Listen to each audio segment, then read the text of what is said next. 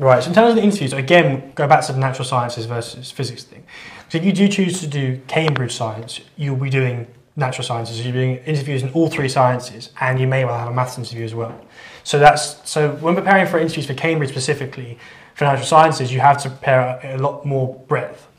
Uh, you'll have one interview on each subject. And well, how interviews work is they tend to take often you'll start with an A-level concept, something you're more familiar with, and they're building it and building it and building it until you can't answer anymore. The point is that you get to a point in an interview where you haven't been able to answer anything more because they're trying to push you, they're trying to test you. It's how supervision would be. And they want you to be engaged and talk back to them, asking questions and things. So in terms of preparing, I would say the best thing to do would be, it's very similar to preparing for general university physics, it would be to do Olympiad papers, uh, look at past paper questions online, past interview questions, and just basically just know your material inside and out. Um, how, how did you prepare? What was your, your main thing? Um, yeah, I basically just did like uh, there was this book I think called like uh, Povey's Problems in Physics. Yeah, I did that. thing. Yeah, Yeah, I did that that. was good. I went, I went, I went, through, I went through that. That's Uh, Professor Povey's problems in Yeah, yeah. There's two versions. I think I did the newer one, but I think the old one's a bit harder. But okay. Um, then I did like yeah, Olymp- Olympiad problems, that sort of thing for preparing. But like if you d- if you're gonna have an interview at Oxford, usually you're gonna have end up with two interviews in uh, the college you apply to or your college you be assigned to, and then you're gonna have one interview at like a college you pull to. Okay, so um, and now now the interviews are they're not gonna talk much about your personal statement from what I've seen. Like it might just be an introductory thing just to get you started, but they're not gonna focus on that.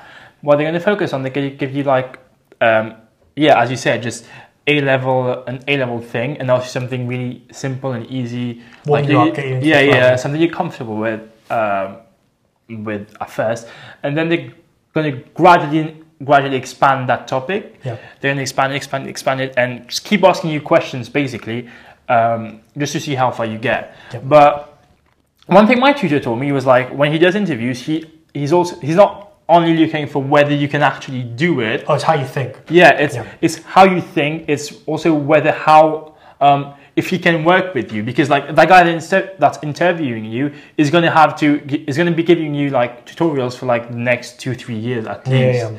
So he he must actually like Are be te- comfortable. are you teachable? Yeah, are you teachable by that guy? Like, can you? So, like, I think like asking questions, talking over, just talking to them um, about the problem, whatever, is just like something really important. I think it like it's like as important as working Getting through the, the, answer. problem. yeah. Interactions. So talk through what you're thinking. yeah, Um, and in fact, you, you mentioned about the personal statement. Yes, there's not much emphasis on it, but that said, first impressions are really important. You need to know your personal statement inside and out. Just in case they ask you about a book you've read, make sure you've read. yeah. They actually did ask me. Yeah, they, Uh, I had line by line yeah. mine. So although they're, they're not going to care too much, it's not going to affect whether you're going to get in or not. But it will. It could detract. It won't add to your interview. But if you don't know it, they'll think, right, this guy's not very prepared. Yeah, but I, um, by any means, I don't mean that they have not read it. Like, believe me, my tutor had read Yeah. my thing because by the end of it, he, he was like, "Yeah, you should be able to do that because you You mentioned mentioned, you yeah. mentioned that." I was like, "Okay, fine." Yeah. But you see that those kinds of, like they actually read they actually read it, but it's just um, they might ask you some stuff about it. They will definitely, probably will at least Yeah, one interview. yeah. They, actually will ask you something, but it's not going to be the main focus of the Yeah, interview. definitely, it's, it's definitely. not going to be the main focus of the Um, interview. Yeah. In terms of preparing, what I would do, I'd say, on top of the whole Olympiad thing and past paper questions, is just to talk, learn to talk about physics. So maybe ask your teachers if you can do some mock interviews with them, and just talk to people who don't know about physics and explain things. Try and learn new concepts.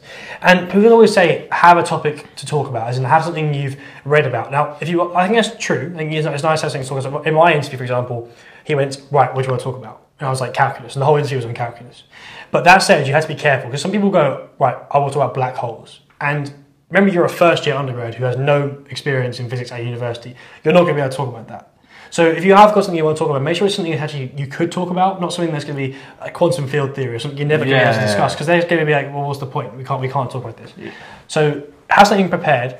And also, they often say, you're often told to ask a question at the end of the interview. People say to you, oh, it might be worth asking a question. Don't ask one for the sake of it, unless you have one. Because at the end of my interview, they went to generally questions. I didn't. I didn't ask, and I still got an offer. You have to ask a question if you Yeah. want to.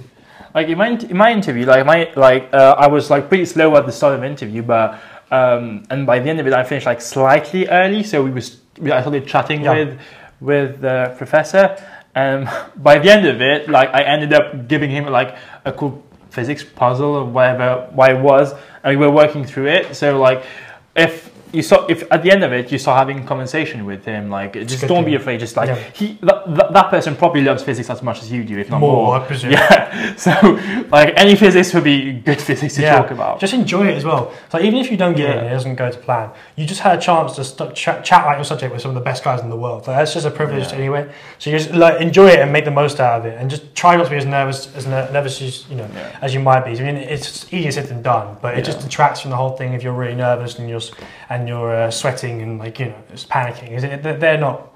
They're not going to enjoy the interview if you're looking really scared. Yeah. So try and relax and try and um, yeah, try and engage. There's one, one, one, like one of the thing, like you, you like, it's, I don't know if it's that, is this, if it's the case for Cambridge or maybe other colleges even, even.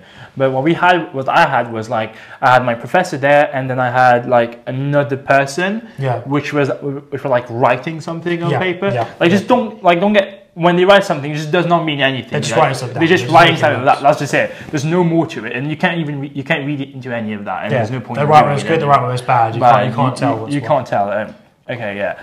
Um, for physics interviews, especially like especially just really physics things, like one important thing about physics is doing estimations sometimes, Yeah, French. and like like yeah, it's it's a good skill to have, like to be able to think in powers of ten, to be able to give quick like make quick estimations of things. Yeah, no. I would say no basic orders of mag- know the magnitude of the universe's Yeah. radius. Know how know the radius of an atom, or how many electrons you get in this. Yeah. Know your Avogadro's constant. That Yeah. kind of thing. Just know them because then when you're right, because they the, the the typical question is how many planes are there in the sky. I actually got You- that you one, got and like and to be fair, my answer was off by a factor of ten. But like I think the fact that if you if you get it, if you're doing a calculation by the end of it, you get a number that you know you feel it is just You too think- big. yeah. it's too big. It's, it- You it's can fine. say it. Yeah, you can just say it. It's like yeah, just go like yeah. I think I feel that's too big. I don't know why I it wrong. Just talk about it with Yeah. the person, and he just and get you back to do it. I, but if you want to practice uh, estimations questions, there's like something called Fermi problems. Yeah. Yeah. Yeah, you could do that. Yeah, I mean, we also have past over past interview questions online that might be worth looking at and just just to get used to. them. Yeah, there's like a, a there's few, a like two, like and two. then sample ones. yeah. Um,